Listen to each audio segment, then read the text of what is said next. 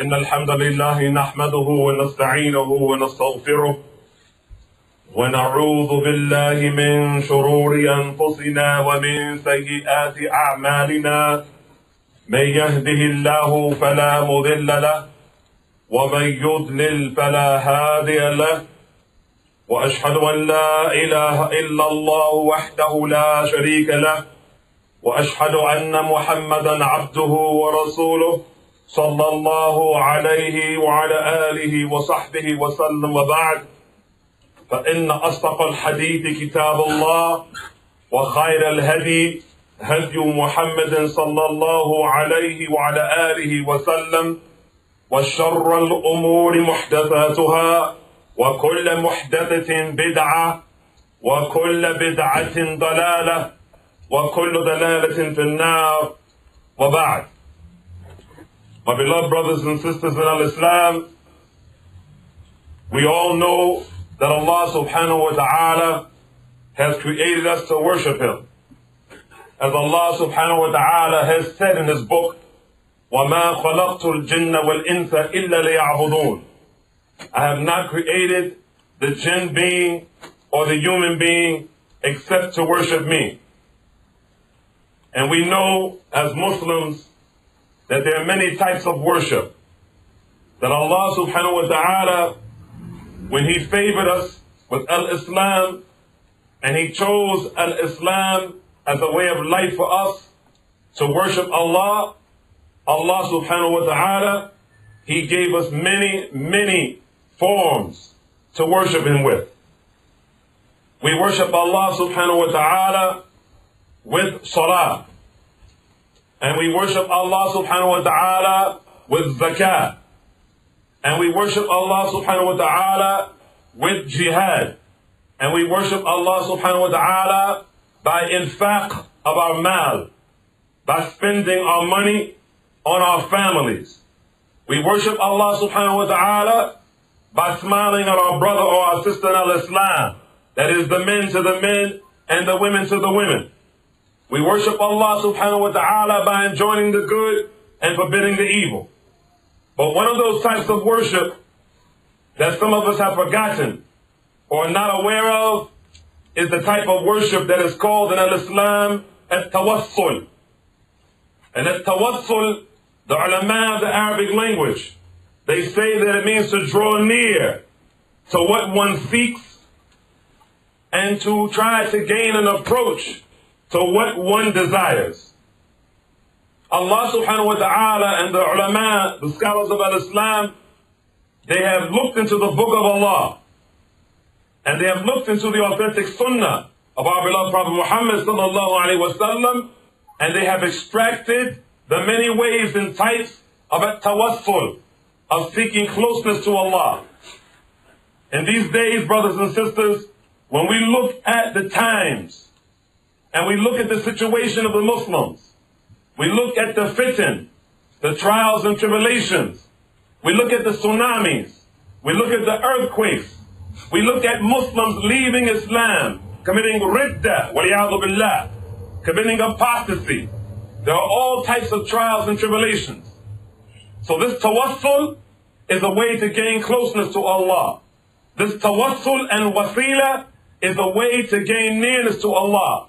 For there is no one that hears this voice that is coming from this minbar except that they would want to be close to Allah. Some of us, we strove, we made endeavors and attempts to gain closeness to people who had power before Islam.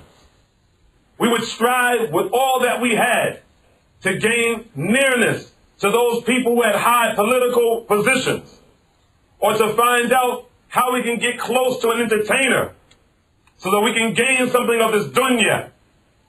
There is no one that deserves to be close to other than Allah. Allah is the one we should gain closeness to and nearness to, to make an approach towards Him, to seek nearness to Allah subhanahu wa ta'ala. So those ulama, they say that these are the types of tawassul. One of the ways of tawassul is seeking the nearness to Allah subhanahu wa ta'ala by way of His names and His attributes. As Allah says in His book, وَلِلَّهِ الْأَسْمَاءُ الْحُسْنَى فَادْعُوهُ بِهَا And to Allah belongs the most beautiful names, the most handsomest of names. So call on Allah by those names. And the ulama, they say that tawassul can be done by asking his messenger, sallallahu alayhi wasallam. And we all know, or we should know, that calling on the messenger, sallallahu alayhi wasallam, using the Prophet Muhammad, sallallahu alayhi wasallam, by way of tawassul, can only be done when he was alive. If we were with the Prophet sallallahu alayhi wasallam, we would make tawassul by way of the Prophet sallallahu wasallam to Allah. Not that the Prophet sallallahu wasallam is a God, billah, an ilah, but rather he is the messenger of Allah sallallahu wasallam, as those companions used to do. They used to use the Prophet sallallahu wasallam to make it tawassul, like the man who came into the masjid that day in Al-Madinah the city of the Prophet wasallam, and he said, O messenger of Allah, our animals, our livestock are dying. Our crops, our farmlands are being destroyed. Fad'ullahu lana.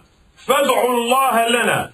So make dua, O Messenger of Allah sallallahu alayhi wasallam, make dua to Allah for us.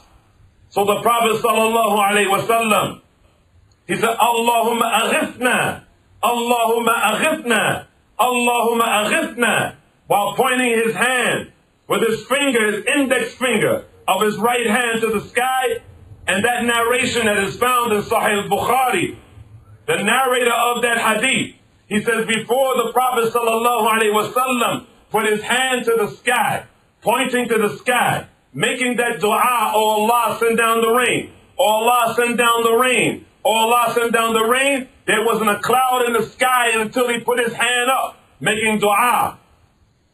And before he could put his hand down, they said his beard was drenched with water from the rain.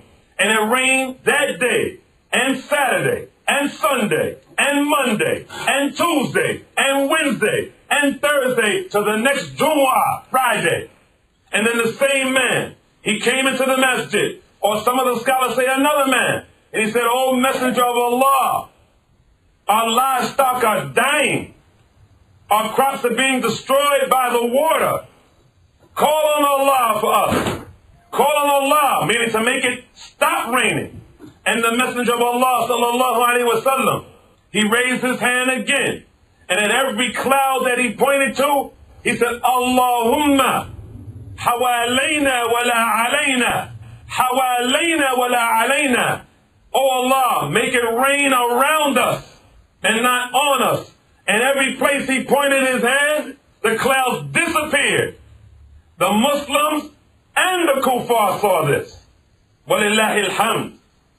Also, it's a tawassul with Allah is by virtue of the status or virtue of an outstanding individual, someone whom we deem as being righteous, asking that person to make dua for us because we deem or we have the opinion that that person is a righteous person, someone who we believe, and only Allah knows who is close to him, that we believe that that person is close to Allah because he's a sheikh, or he's an imam, or he's just an individual, a common individual, who we know fears Allah.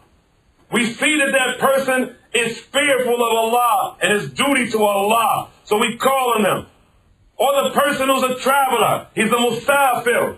Because the Prophet wasallam, he has informed us that the traveler's dua is answered.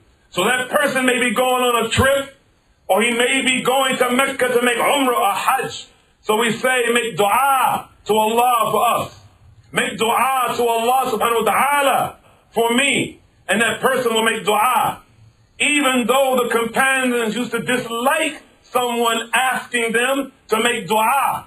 As Abdullah ibn Umar ta'ala when someone used to ask him, make dua for me, he used to say, Al-anbiya'u nahnu? What you think, we're prophets or something?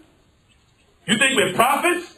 In other words, don't ask me because I have to answer to Allah for myself because I'm a sinner.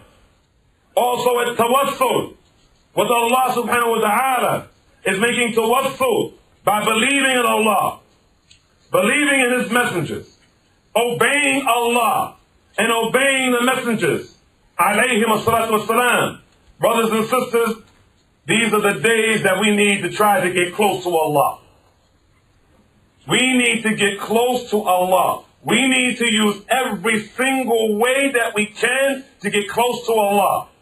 Also, at tawassul to Allah is by way of your own individual, specific good deeds that you have done. And we should keep in mind that when a person does good deeds and he tries to use those good deeds that he did in the distant past or he may have done it three hours ago, that shaitan will come to him. It's one of his tricks. He will come to you when you want to make tawassul because you saw that brother standing there waiting for the bus and you know that he's late for work. You roll the window down and you say, let me take you to your job out so you won't be late. And that brother's on the other side of town or he may even work in Camden, New Jersey or the like. So you want to help him fulfill his need. And you put him in your car and you take him to work all the way up to the door, not to the halfway point where you have to catch a bus anyway, but all the way up to the door. So now you want to call on Allah to make tawassul to Allah by way of that good deed. So shaitan, he'll come to you and he'll make you forget the good deeds that you did. Or he'll say to you, whispering to you, that was a small one. That wasn't a big one. Don't use that one. To the point where you can't even remember what you did of good deeds. And we don't care how wicked we are. We don't care how many evil deeds we have committed. We don't care how many sins we have committed. And we should stay far away from those things. All of us have done something that is good. All of us have done at least one thing in our Muslim lives that is good. So shaitan, and we seek refuge with Allah, with Allah subhanahu wa ta'ala from him, shaitan will come to you and say, that's a small one. Don't make tawassul by that one. You need a bigger one. You can make tawassul by picking up a Hershey candy bar wrapper from the sidewalk. By picking up a plank that has a nail in it in the middle of the road. You can call on Allah subhanahu wa ta'ala Oh Allah, I'm making tawassul to you by way of picking up that banana peel in front of the door of that store so that someone wouldn't have tripped. I'm calling on you on Allah. I'm calling on you, making tawassul by you by way of that good deed I did, like those three men who called on Allah when they sought refuge in a cave and then a huge boulder came in front of the mouth, the entrance of that cave, and each one of those three men began to make a tawassul to Allah. And the first man, when he made tawassul by good deed that he did, the rock moved a little, but not enough to get all three of them out. And then the second man, he made tawassul, mentioning to Allah, and Allah already knows, by something that he did of goodness and the rock moved a little bit more, but not enough to get all three of them out. And then the third man, as the hadith says, in Sahih Bukhari and collected by others, he made tawassul to Allah, mentioning his amal salih, his good deed, just one, just one good deed. And then the rock, by the power and the might and the permission and the mercy and the bounty and the grace of Allah, it moved completely, and all three of the men, they left that cave, walillahi bilhamd.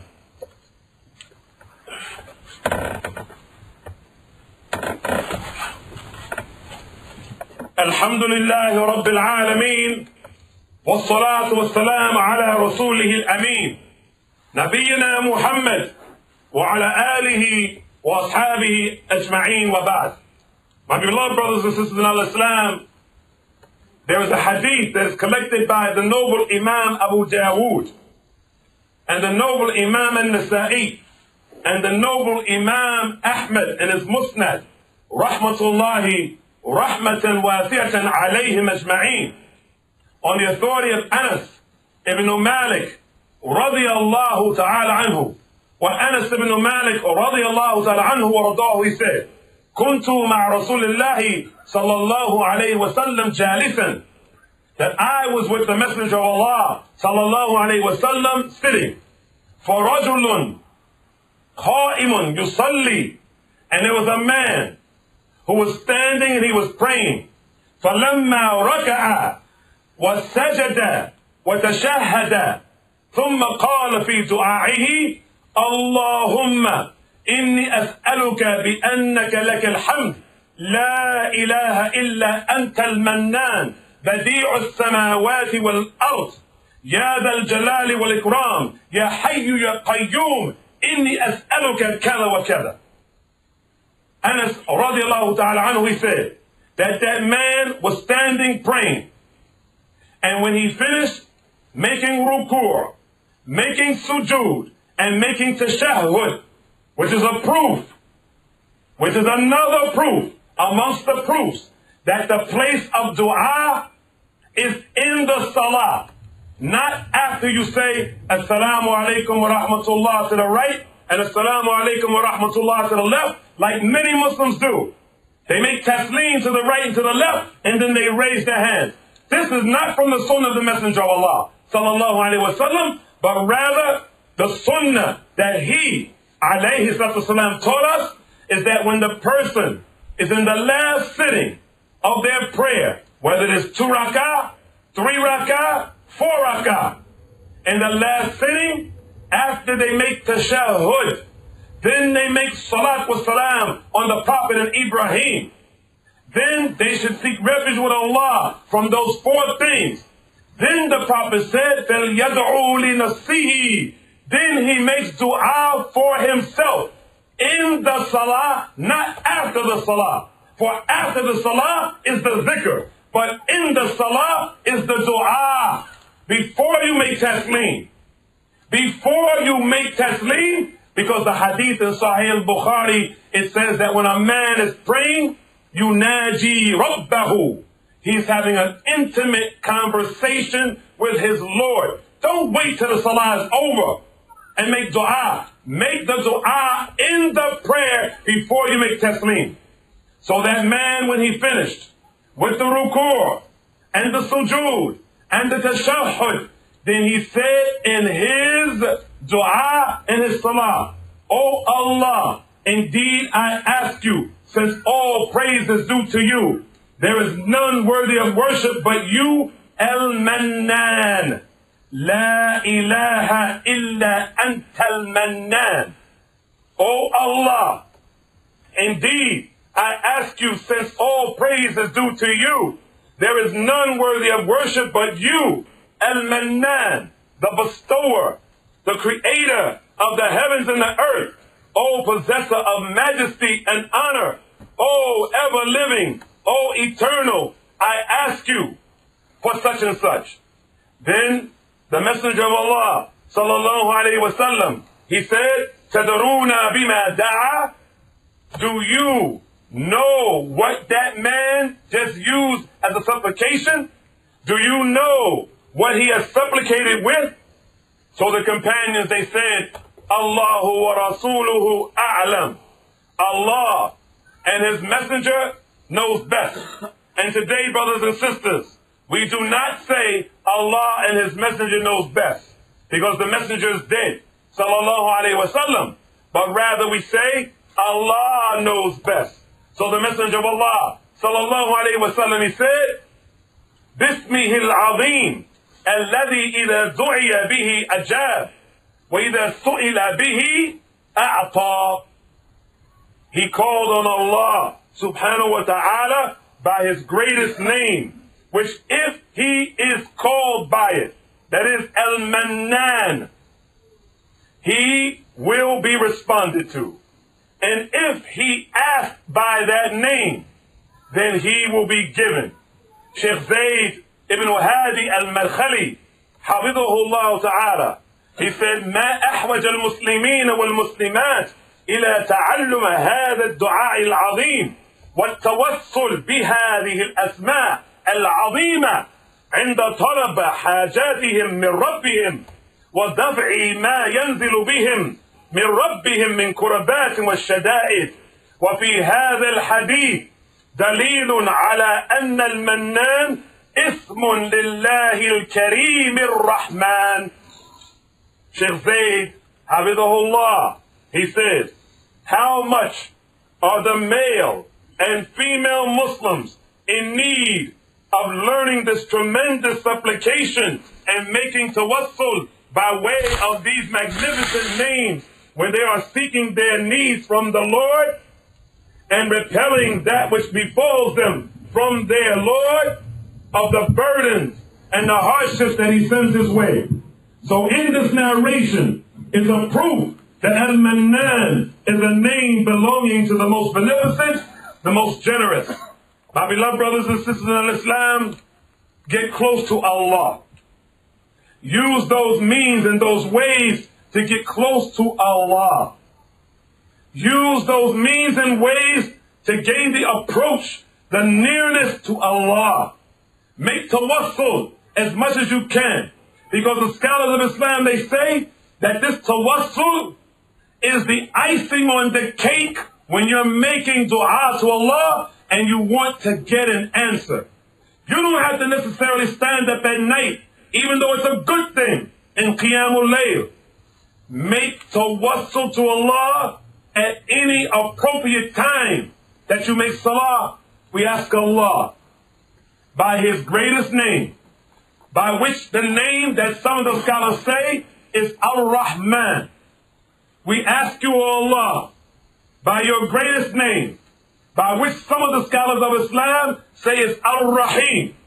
We ask you, O Allah, by which some of the scholars say that the greatest name of Allah is Al-Mannan, the bestower, the giver. We ask you, O Allah, by your greatest name, by which some of the scholars say is the name Allah. We ask you, O Allah, calling on you by your names, making tawassul by your names. O Allah, make us near to you. O Allah, make us close to you. O Allah, give us the qurb. Give us the nearness to you. Give us and grant us al-wasila. Give us a tawassul as those people of the past used to do. وصلى الله وسلم